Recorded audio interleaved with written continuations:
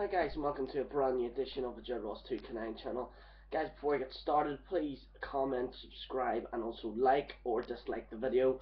Um, all opinions here are welcome and I don't really shy away from, you know, other opinions. If you do have another opinion on the video, please comment below and I will reply to you. Um, also, if you do want your channel to be featured on my channel, please let me know and I will post the link of your channel um, on the next video. Or maybe even if you want to um, post a video response please do so as well.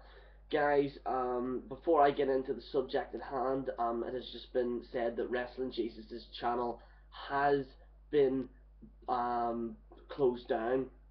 Um, Wrestling Jesus' channel I believe it's Wrestling Jesus 111 uh, his channel has been closed down because of um, uh, regards to a bullying flag towards him. Um, the leader of the Supreme regime, Don Banks, has actually messaged me and has specifically told me to tell you guys this.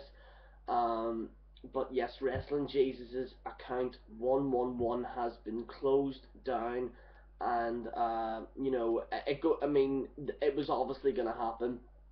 I mean, the guy has been flagged quite a number of times um, because of his content, and you know, you know, I mean, personally, I, I think that that that um, wrestling Jesus, he's not a really nice person. I mean, the fact, I mean, I'm bringing news here about Nelson Mandela and wrestling Jesus is saying to Don Banks, oh, you're uploading videos, um, reg- you know, regarding to the news, you must be, you know, taking money off dead children. That has to be the most ridiculous thing I've ever heard in my life. Yes, Don Banks uh, uh, talks about, um, he talks about the news, but I, mean yeah, I don't see what the problem is. He's talking about the news. I mean, there. Are, I mean, and let's just put it this way. There, there. So, so hang on. So the BBC News or Sky TV upload a video, and they get they get partnership, and they get money. So clearly, they're. You know what I mean? You're constantly contradicting yourselves. Don Banks is there just to give news. I don't understand what what the problem is. Anyway, guys, uh, I don't want to go on a rant, but anyway.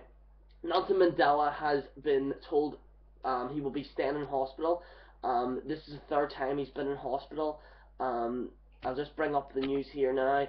Uh, prayers um, have been said in churches across South Africa for the former President Nelson Mandela, who is spending a second day in hospital for treatment for a lung infection. Um, for a lung infection. Um, Nelson Mandela is 94 and has been ill for some days before being taken to um, the hospital earlier on Saturday. Um, like I said previously, it is the third time that he has been in hospital, um, and a, lot of prayers go out to Nelson Mandela, and um, I hope he has a very speedy recovery. Um, personally, I find Nelson Mandela a big inspiration. Um, you know, he fights for freedom. He fights for you know freedom of his country, and he was eventually the president. Um, and that's I have a lot of respect for guy. Anyone that fights for freedom for their country, um, has respect in my opinion, in my view as well. So guys, um, what what do you think is going to happen? Um, what, what do you think? Do you think, uh, hopefully, uh, do, do you think he's going to be staying in hospital longer? Um, please also say prayers, you know, for him, you know, on the comments below. Hopefully he gets better soon. Um, once again, guys, it's Joe Ross 2K9 signing out.